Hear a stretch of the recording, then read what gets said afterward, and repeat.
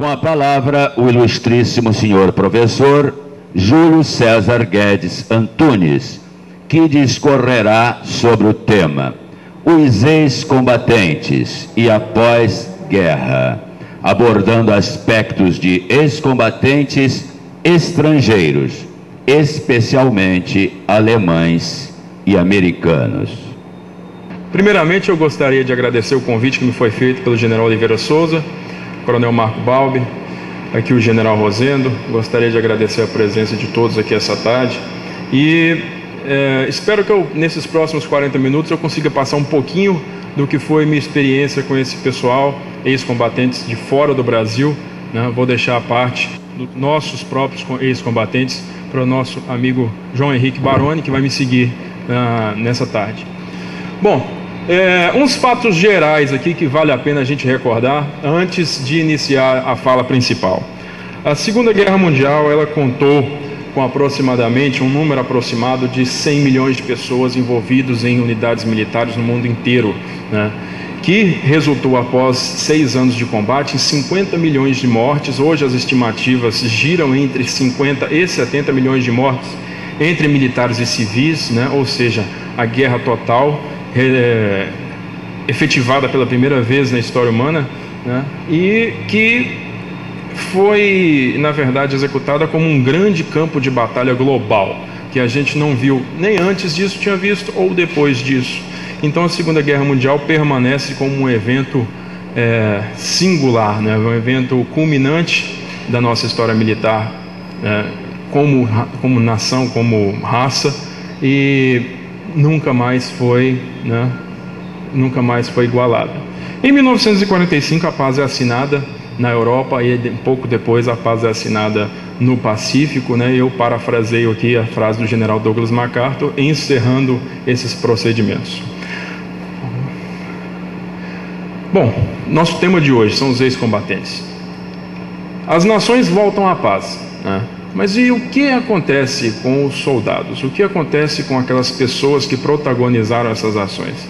Nós sabemos muito bem que guerras se acabam com tratados de paz. Mas a mesma coisa acontece com as pessoas que participaram desses combates, ou seja, essas pessoas simplesmente se desligam de tudo aquilo que aconteceu e voltam para a vida que tinham antes? Né?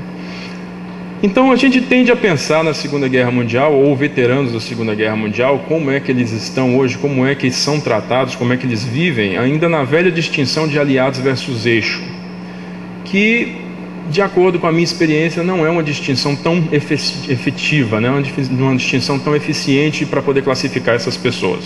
Né?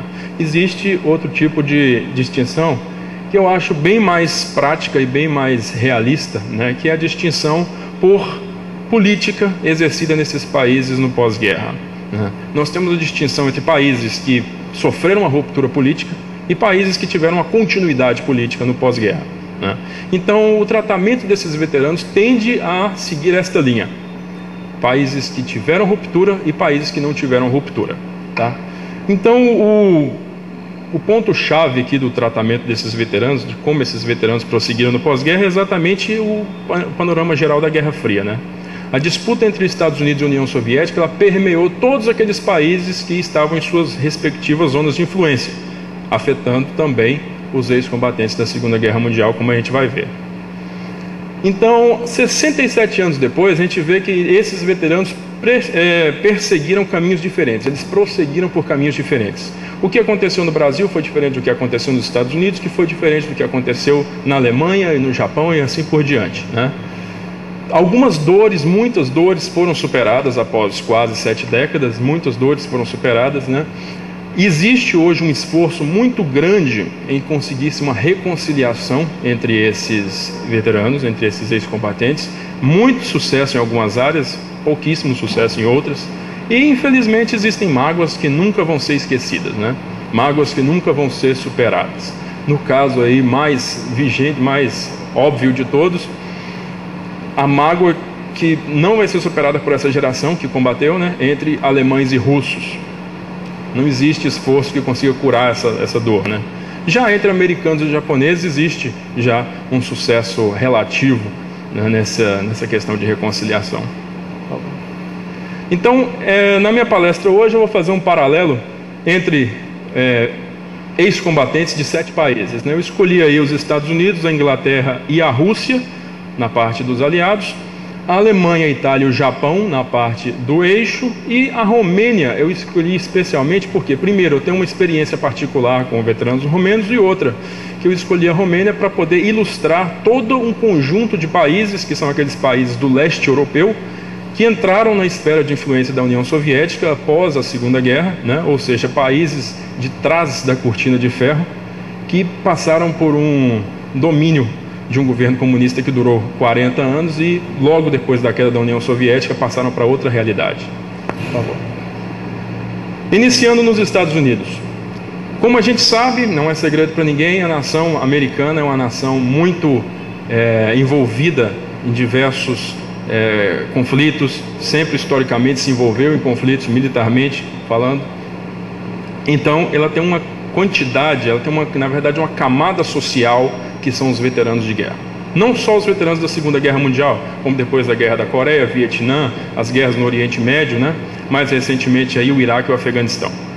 Então, desculpa, o governo dos Estados Unidos tem esse departamento chamado Departamento de Assuntos de Veteranos, Department of Veteran Affairs. Esse departamento é hoje o segundo maior departamento do governo americano, logo atrás do Departamento de Defesa. Tá? Ele tem um orçamento anual que gira em torno de 90 bilhões de dólares e esse é um departamento que provê aos veteranos e suas famílias assistência médica, assistência de educação, pensão né? e diversos outros, moradia, né? diversos outros aspectos também. Tá? Então, por favor. Se a gente for é, parar para poder analisar veteranos americanos, a gente vê que é uma casta da sociedade que é bastante benquista, né, bastante participativa. Todas essas fotos aí demonstram isso, né? É, primeiro, você tem ali no centro um veterano em paradas militares que são organizadas em honra dos veteranos da Segunda Guerra, que na verdade são tidos como os melhores, uh, the golden generation, the best generation uh, para eles, né? Porque é uma guerra que não foi maculada pela imprensa. Ali do lado nós temos o presidente Barack Obama concedendo uma medalha presidencial a veteranos asiáticos, né? Veteranos de origem asiática, veteranos de origem japonesa do regimento 442, que inclusive algum tempo lutou lado a lado com a FEB na Itália, né? e que tinham sido relegados até pouco tempo atrás, né, por conta do alto conteúdo de racismo, de preconceito racial que existia, permeava as Forças Armadas Americanas. Do outro lado ali, um veterano negro também da Segunda Guerra Mundial, que nessas últimas décadas a gente tem testemunhado, tem observado uma inserção social muito grande desse tipo de veterano, que não, não acontecia até a década de 70. Né? Eles eram, apesar de terem tido parte, terem tido parte ativa tão grande quanto os veteranos de, de origem europeia, né? eles, para o governo ou para a sociedade, eram tidos como de segunda classe. Aqui o, um amigo meu, que é o Major Jim Patilho, ele me auxiliou no trabalho que eu fiz, né, uma tese, desculpa, que eu apresentei é, sobre a campanha de bombardeio americana na, na, contra o Japão. Ali tem ele, o primeiro à esquerda, né, em pé. Ele é o comandante daquele B-29, nome Bengal Lancer, está na base de Karakpur, na Índia, 44. E ele aqui ao lado de boné branco, né, em Washington, com a esposa dele e outros amigos. Por que eu destaquei essa foto? Ele mora em Santa Bárbara, na Califórnia. E além do esforço desprendido pelo Departamento de Assuntos de Veteranos, existem outras organizações não governamentais, como esta, né, no caso aí dessa foto, que provê para eles como se fosse uma loteria de sorteios de voos para a capital americana para conhecer os monumentos, para conhecer os locais históricos. Né?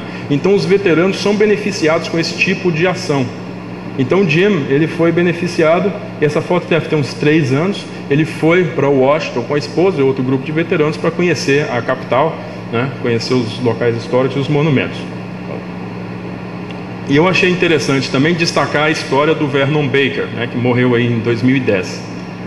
Baker era um veterano, soldado, na verdade tenente, da 92ª Divisão, bem conhecida por nós aqui, porque é uma divisão que lutou lado a lado com a FEB, né, a divisão negra do exército americano, e que o Vernon Baker, ele em 5 de abril de 45, ele ao liderar uma patrulha, ele recebeu fogo de um grupo de ninhos de metralhadora alemães e sozinho ele desativou cinco desses, atacou e desativou cinco desses ninhos de metralhadora. Né? Atraiu o fogo para si, desviando o fogo do pelotão e teve sucesso né, em ações de, de, alto grau de bravura, né, como os americanos chamam acima do chamado do dever. Ele conseguiu desativar cinco desses ninhos de metralhadora. Por ser negro, ele não foi devidamente reconhecido pelos seus feitos na época, assim como outros soldados também. Esse erro passou a ser reconhecido né, e passou a ser corrigido a partir de 93, quando foi fundada uma comissão que reviu esses registros históricos e reclassificou essas ações, reenquadrando-as como compatíveis para a medalha de honra do Congresso, que é a maior condecoração americana por bravura. Né? Então, eles encontraram registros de sete soldados negros que seriam elegíveis para a medalha de honra. Quando esse relatório final ficou pronto, o único desses soldados que estava vivo era o Vernon Baker. Então, em 97, ele foi à Casa Branca e foi condecorado com a medalha de honra do Congresso pelo Bill Clinton. Então, o cenário dos veteranos americanos é esse. É um cenário de muita participação, é um cenário de muita é, de muito reconhecimento, tá? Então, eles são uma classe que participa efetivamente da sociedade. Eles compõem a vida americana, né? Em um em um grau que é muito diferente das outras nações. Eu vou ter outro exemplo de veterano americano mais para frente quando eu falar sobre reconciliações, mas agora nós vamos passar para Inglaterra. Na Inglaterra não existe um departamento estatal que toma conta dos assuntos de veteranos, mas existem diversas organizações não governamentais a nível de divisão, a nível de, regi de regimento, que tomam conta desses veteranos. Né?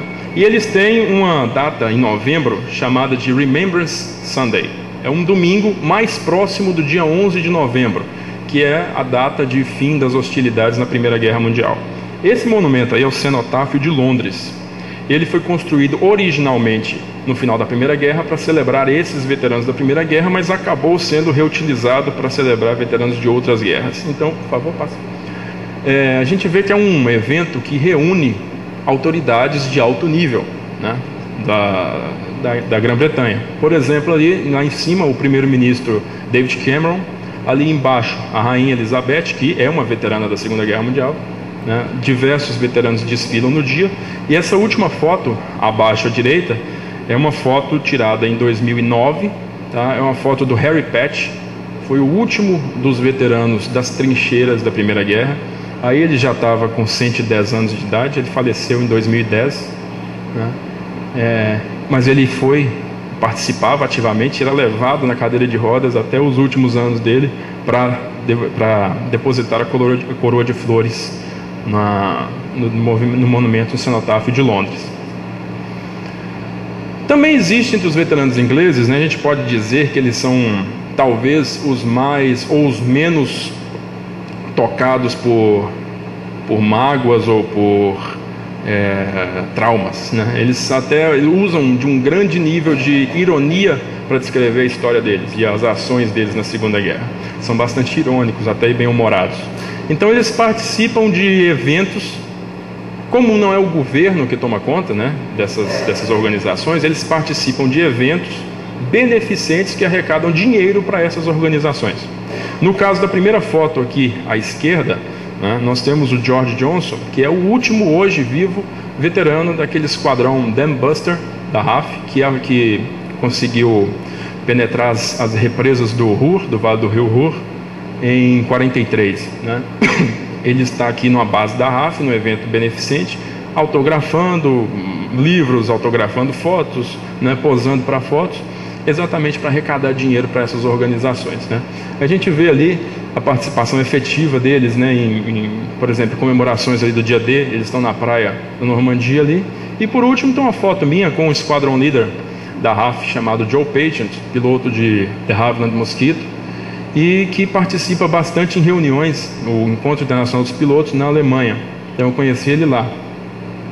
É o Joe Patient, tipicamente inglês, com o bom humor inglês, né, irônico. Né, ele, eu perguntei para ele certa vez se o Mosquito era uma nave muito difícil de pilotar, né, porque a gente lê, era uma nave um pouco complicada de pilotar. mas ele disse que era uma coisa simples que ele tinha ensinado muitos idiotas a pilotar mosquito. Né? Partindo agora então para a Alemanha, tá? É, a Alemanha ela tem já um, um cenário muito distinto dos outros últimos dois, dos últimos países que eu que eu falei. O primeiro país que sofreu uma ruptura de governo, obviamente, né? O país que foi o, a cabeça do eixo e que foi e passou por uma reconstrução política é, muito pujante a partir de 1945. Então, esses veteranos, né, veteranos da Wehrmacht, que é a organização, digamos, o comando, alto comando que conglomerava os altos comandos do Exército, Marinha, Aeronáutica e Waffen-SS, né, esses veteranos da Wehrmacht não recebem pensão. Né? A primeira distinção que a gente vê com veteranos americanos e ingleses da Segunda Guerra. Tá? É, também esses veteranos são hoje ignorados pela sociedade, ignorados pelo governo. Tá? É, não existe qualquer tipo de programa social ou programa é, governamental voltado para esses veteranos. Tá? Eles se reúnem hoje em pequenas reuniões, discretas reuniões e pequenas associações, como no caso dessa aí que eu coloquei a, a, a o símbolo dela aí embaixo, né, a logomarca dela aí embaixo, que é chamada ODR, né? em alemão Ordensgemeinschaft der Ritterkreuzträger, ou seja, Associação dos Ganhadores da Cruz do Cavaleiro, que hoje, pelos números deles estarem diminuindo, aceitam veteranos ganhadores de Cruz do Cavaleiro, Cruz Alemã em Ouro, Cruz de Ferro de primeira e segunda classe também. Né? Então eles usam como, como é, representação icônica a Cruz de Ferro, a Cruz do Cavaleiro, edição 1957 que é a edição desnazificada, como vocês podem perceber. Né? Ela não contém uma suástica, ela contém uma folha de carvalho ali no centro, onde a suástica era contida. Ela não é uma reedição da condecoração, meramente uma versão, né? por isso está escrito ali 1939, que foi a última data de, de, de, de edição, desculpa, de otorgação da, da condecoração. Tá? Essa foto aí foi tirada em 2007 é uma foto que mostra o pessoal reunido, ganhadores de Cruz do Cavaleiro. Vocês podem reparar nos pescoços deles aí, a maioria deles tem a condecoração. Essa foto foi tirada numa reunião em Bad Reichenhall, na, no extremo sul da Bavária, né, no extremo sul da Alemanha, em é, outubro de 2007. Na fileira do meio, o quarto, contando da direita para a esquerda, é o Major Martin Dreves, piloto da Luftwaffe, que hoje vive em Blumenau, né, Santa Catarina, e ele vai todos os anos lá para essas reuniões. E desculpa, pode. Dreves, ele é, eu fui, entrevistei ele em 2008, fiz um documentário sobre a vida dele em 2008, e então ele me chamou para poder é, acompanhá-lo nesses encontros na Alemanha. Ele, inclusive, já deu uma palestra aqui, se não me engano, foi o ano passado, no, nos 10 anos da revista Asas, né, a comemoração de 10 anos da revista Asas. E ali tem a gente no encontro de 2010, né? Inclusive a maioria do pessoal que está ali é do próprio Rio de Janeiro. Né, na... E ele faz questão, inclusive, de levar a bandeira do Brasil ali, ó. Coloca na mesa e em todos os encontros sempre leva a bandeira para colocar lá. Um nome que é bastante reconhecido, né? Que eu também fiz uma visita pessoal, é o Otocários, que é piloto, foi, desculpa, foi comandante de tanque Tigre na Segunda Guerra. Ele na lista dos grandes comandantes de tanque, ou grandes ases dos tanques, né, ele é o número 2.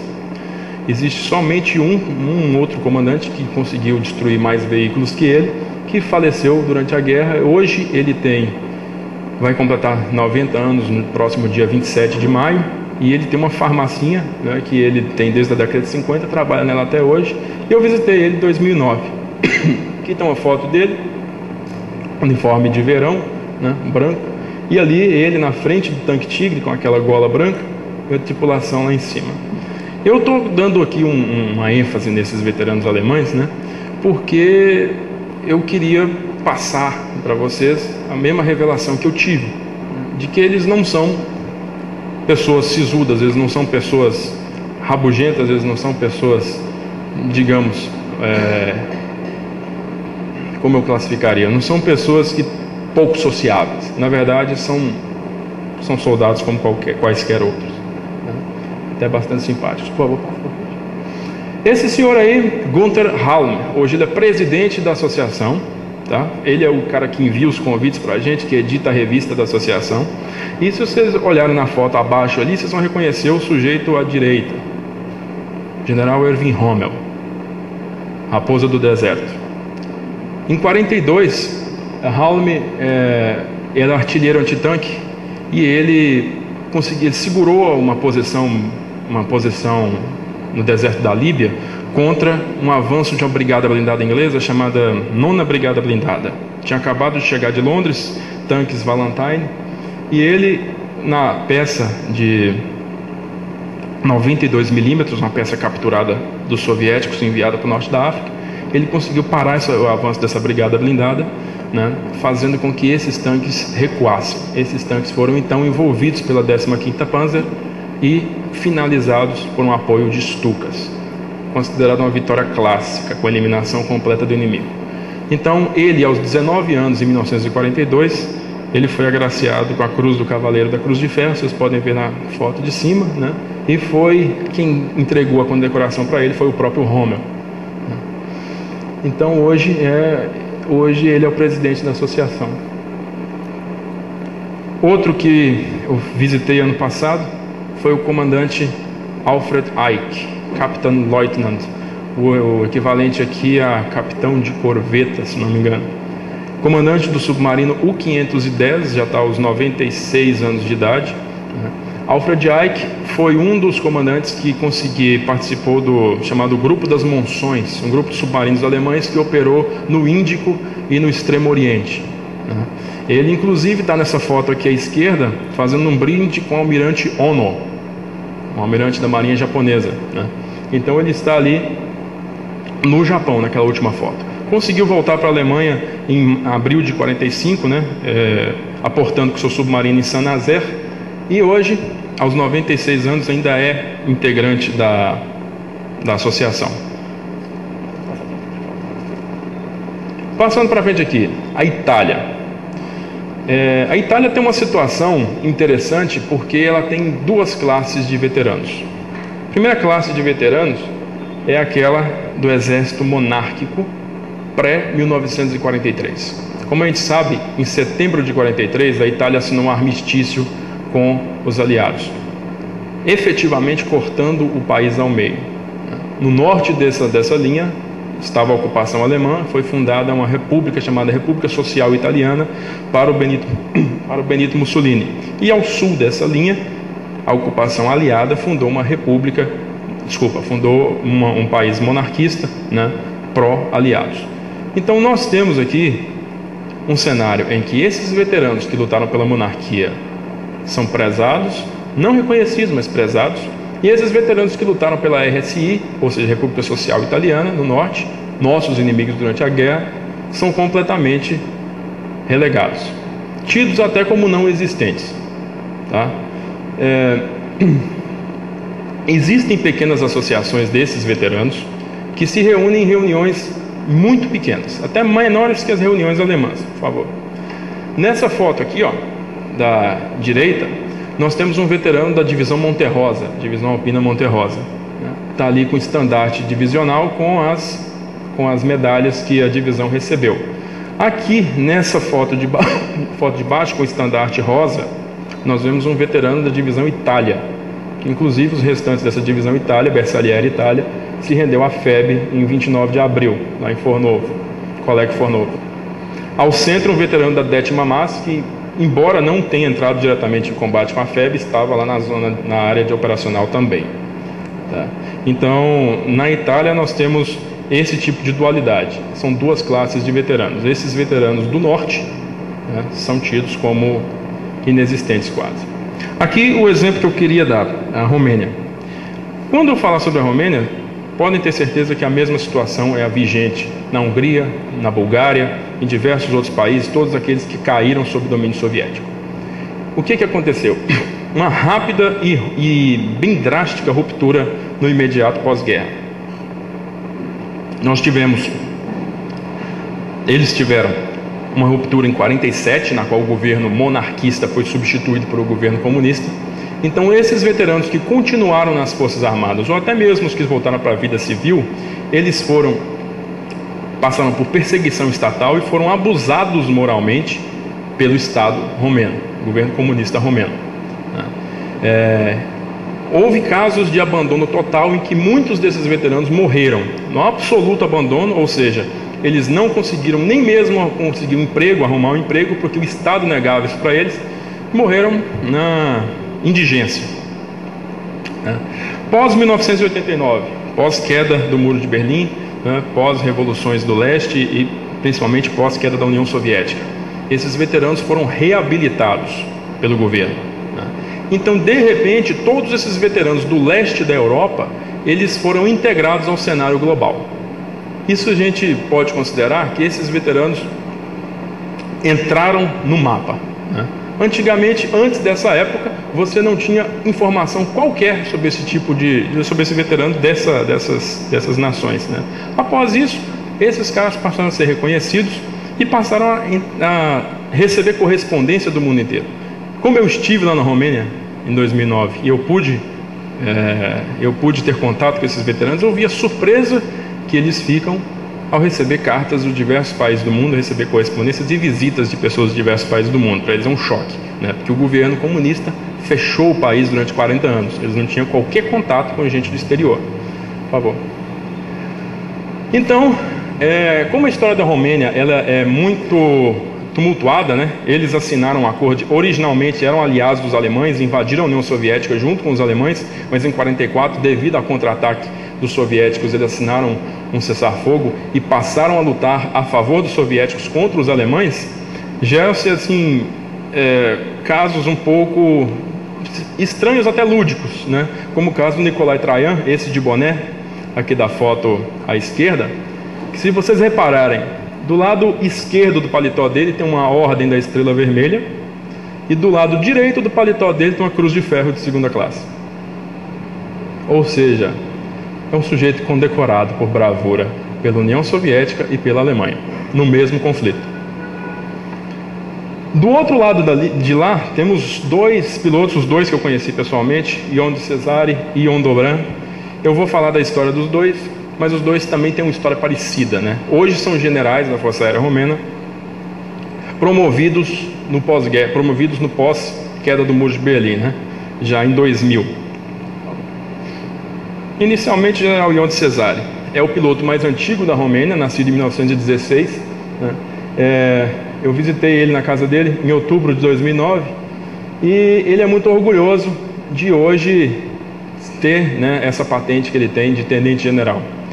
Ele foi expulso das Forças Armadas, foi expulso da Força Aérea, por se recusar a assinar um termo no qual ele repudiava todas as ações dele contra a União Soviética durante a guerra. Então a Romênia sempre foi um país que teve problemas de fronteira com a União Soviética. A União Soviética sempre manteve a pressão contra o país, anexou territórios do país. Então para ele era uma questão nacional, de orgulho nacional. Então ele não se ele não se, se dispôs a assinar esse documento e foi expulso das Forças Armadas. Tá? Então ele foi promovido a tenente-general, primeiro, desculpa, brigadeiro-general, depois major-general, agora tenente-general, né?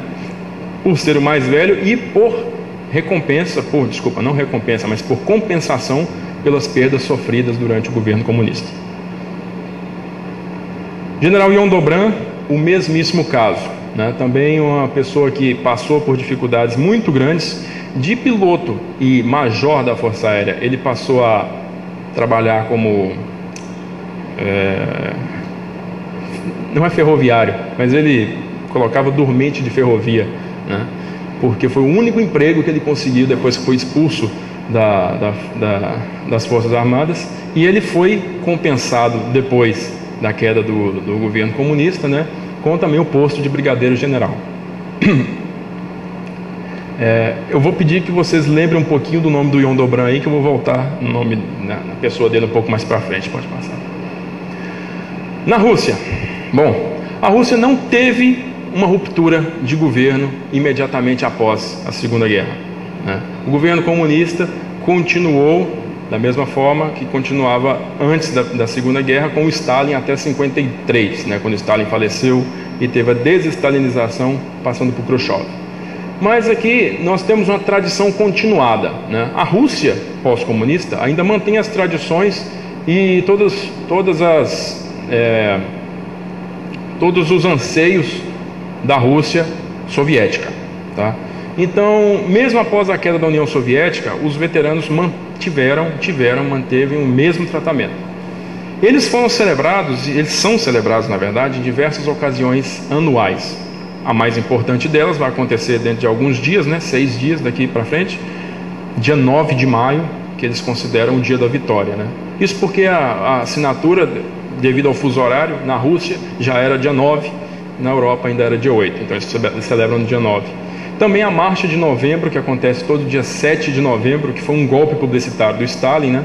enquanto os alemães avançavam sobre Moscou no começo de novembro de 41, ele fez com que um contingente novo, recém-chegado do Exército Vermelho, desfilasse pelas ruas de Moscou em frente a todas as embaixadas do mundo inteiro, para poder assegurar para essas embaixadas que o governo soviético estava firme na capital e não ia fugir da capital. Né? E em seguida, logo em seguida, quando eles saíram do desfile, essas tropas foram para a linha de frente. Então essa é também uma data que é comemorada anualmente. Veteranos russos são talvez os mais emotivos do mundo. Emotivos por quê? Porque eles enfrentaram uma guerra de destruição, né? uma guerra total, uma guerra de eliminação completa. E eles, de uma derrota aparente em 1941, eles se reergueram para uma vitória completa em 1945. Então, são pessoas que é, foram tiradas de comunidades, de fazendas coletivas, né, de, da mais humilde das origens possível, e que têm um orgulho muito grande do feito que realizaram em 45. Então, eles têm essa particularidade de não usar somente a, a, o barrete de medalhas, eles usam as medalhas inteiras, né? então cobre o uniforme deles de medalha. Né? E, e também porque a cada 10 anos ou 5 anos eles lançam uma medalha comemorativa de 40 anos da vitória, 50 anos da vitória, 60 anos, então sempre tem uma medalha a mais. E eles tendem a demonstrar emoção com uma forma muito diferente dos outros. Né? Vocês podem ver por essas fotos aí, por favor. É, brindam bastante, né? Vodka é praticamente a água deles. E choram profusamente, né? efusivamente eles choram nessas, nessas celebrações, então você consegue ver a emoção nos olhos deles. Eu conheci o coronel Yuri Romanov também em 2009, foi instrutor de caça durante a guerra e ele bebia garrafas e garrafas de vodka né, durante a festa, durante lá o encontro e me contou assim como um velho companheiro de bar, né, sentou na mesa me contou em russo mesmo, não entendendo, mas eu escutava Mikoyan Gurevich, eu escutava Eliushin, escutava né, o nome das aeronaves e conseguia, não, eu pilotei tal coisa, pilotei tal coisa, pilotei tal coisa. Né? E na Guerra da Coreia ele foi piloto de MiG-15. Então, eles têm muito orgulho do que fizeram, são veteranos muito emotivos, tá? e que ainda recebem bastante atenção do Estado. Na Rússia, a realidade é essa. Por fim, o Japão. O Japão ele tem uma constituição pós-guerra, né, datada, se não me engano, de 46, que é uma constituição que nega a eles o direito de fazer guerra. Constitucionalmente negado, tanto que o Japão não possui exército, força aérea e marinha. Ele possui forças de autodefesa do território do Japão força aérea, força terrestre e força marítima de autodefesa do território do Japão. Não se chama exército, marinha e força aérea. Né? É, dado o, o, comportamento ou dado né, as atitudes do exército japonês na Ásia durante a guerra, qualquer coisa que lide com o nome ou a referência a esses veteranos gera uma instabilidade diplomática muito grande na Ásia. Né? particularmente na Coreia e na China. Então, até hoje, falar de veteranos japoneses ou honrar esses veteranos japoneses é uma ofensa muito grande para esses países asiáticos que passaram por ocupação japonesa. Né? O santuário Yasukuni, que é esse aí, está na foto, fica em Tóquio, né? Ele é um, digamos, uma afronta diplomática né, aos governos da Ásia. Por quê? Porque é um santuário que reúne as almas de todos os guerreiros que morreram em honra do imperador, incluindo 2 milhões 500 mil aproximadamente que morreram na Segunda Guerra Mundial. Então esses 2 milhões e meio de veteranos japoneses que morreram na Segunda Guerra Mundial, né, eles causam muito desconforto na Ásia, dado a conduta deles na Segunda Guerra. Né. E oficialmente, não hoje, mas alguns anos atrás, o primeiro-ministro japonês, na época o Junichiro Koizumi, visitou o Yasukuni, prestou suas homenagens, fez a prece dele lá. Isso enfureceu muitas nações asiáticas, né? causando um desconforto diplomático muito grande. Bom, encerrando aqui essa parte, eu gostaria de falar um pouquinho sobre a reconciliação. Eu conheço alguns exemplos e eu gostaria de dividir eles com vocês. O primeiro exemplo que a gente vai ver é do capitão Jerry Allen. E Allen foi piloto de P-51 Mustang lá em Iwo Jima, né, no Japão, uma ilha japonesa que foi capturada em fevereiro de 45. Ela fica aproximadamente ali uns 500 ou 600 quilômetros do Japão. Né?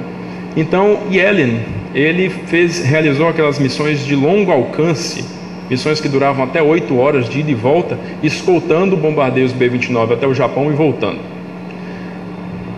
Ele me disse, né, eu conheço ele, me disse que o sentimento dele na época era de ódio. Era um sentimento que ele descreve como eu odeio esses malditos amarelos. Embora ele nunca tenha visto um único japonês durante a guerra, porque a guerra dele foi lá em cima. Né? Então ele não via aquelas pessoas lá embaixo, mas ele odiava os malditos amarelos. Alguns anos depois, diria algumas décadas depois, o filho caçula dele, né, na década de 80, ele fez um intercâmbio no Japão, encantou-se com o país, mudou-se para o Japão, casou-se com a japonesa e Jerry Ellen hoje tem três netos japoneses. A pessoa que odiava os amarelos. Né. Então, ali tem uma foto dele com a esposa e duas das netas, né? E essa última foto aqui à direita é uma foto dele lá em Iwo recentemente, numa comemoração que ocorreu lá em Iwo se não me engano foi dois anos atrás. Ele está ali com o Dr. Hiroya Sugano, que foi um pretendente a kamikaze. Né? Ele recebeu todo o treinamento, mas não efetivou a missão. Então, é, os dois escreveram já livros juntos, hoje são parceiros né, literários. Então aí mostrando que a reconciliação é um fato, né? Ela existe e ela existe em grande quantidade, em grande amostragem. O Yondobran que eu mencionei para vocês lá na Romênia teve um caso de reconciliação muito interessante com esse americano chamado Barry Davis. Dia 6 de junho de 1944, no mesmo dia da invasão da Normandia, nos céus da Romênia, a nona Força Aérea montou um ataque em força contra os campos petrolíferos de Ploiest, na Romênia. É, nesse dia, o esquadrão Checkertail, né, é, de Mustangs B, inclusive o Barry Davis era piloto desse esquadrão, estava fornecendo cobertura para esses bombardeiros. E o Ion Dobran, do nono grupo de caça romeno, ele decolou, na época eles não usavam mais esse caça, eles trazem o IAR-80, eles usavam o Messerschmitt 109 alemão, decolou para poder interceptar essa força. O Barry Davis não percebeu a aproximação do 109, pensando pela, pela silhueta, né? analisando a silhueta, ele pensou que era um, mais um, um Mustang, chegou por trás do Mustang e alvejou e descarregou as armas no Mustang do Barry Davis, fazendo com que ele desmaiasse com um dos estilhaços que atingiu a cabeça dele. Dobran não pôde continuar porque as armas travaram, ele teve que voltar. Barry Davis desmaiou, a aeronave entrou em mergulho, ele conseguiu recobrar a consciência e recobrar o, o controle da aeronave, fez um pouso forçado na Ucrânia. Ou seja, nesse dia ele quase morreu. É, um estudioso da Segunda Guerra, 50 anos depois, ele cruzando dados, né?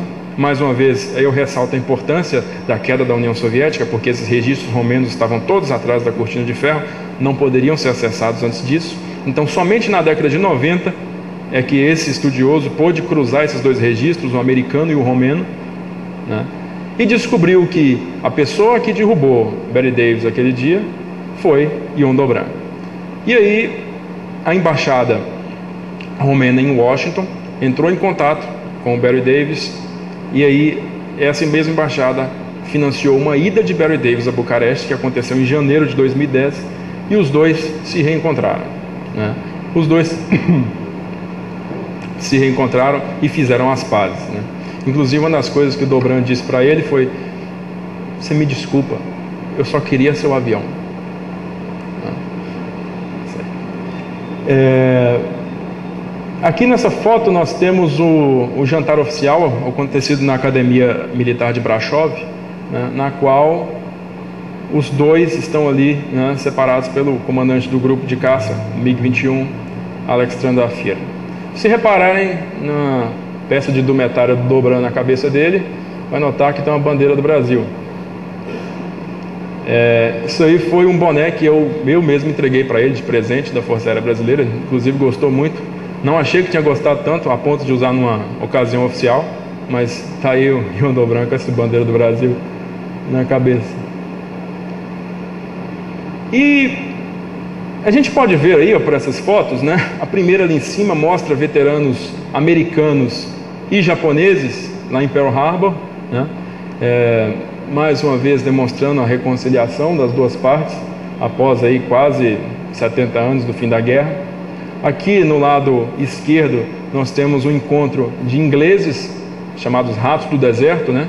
Daquelas patrulhas de longo alcance no deserto com um soldado alemão, que era o motorista do Rommel, está ali no meio ali de colete branco.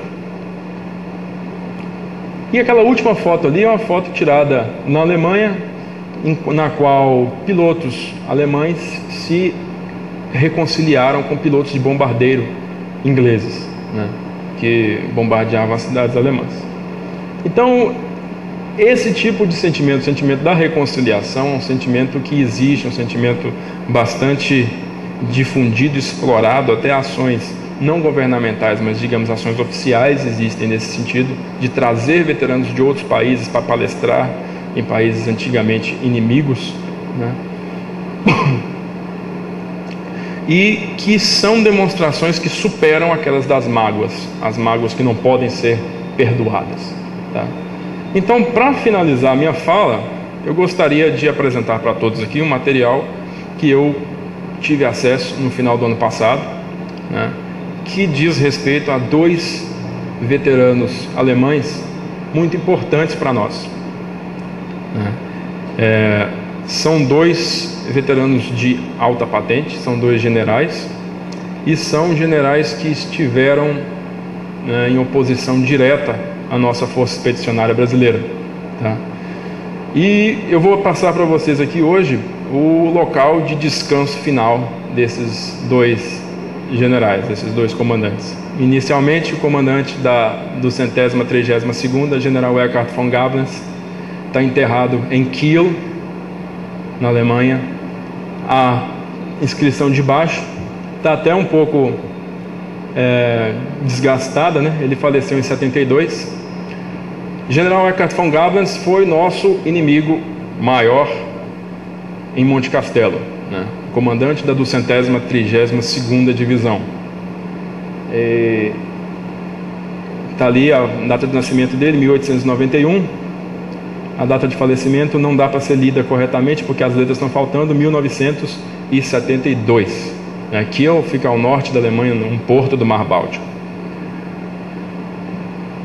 Por fim, o general Otto Fraterpico, nosso prisioneiro de guerra mais importante, né, comandante da centésima quadragésima oitava divisão, capturada lá em Kolek Fornovo, está enterrado em Freiburg, na Alemanha, na tumba da família.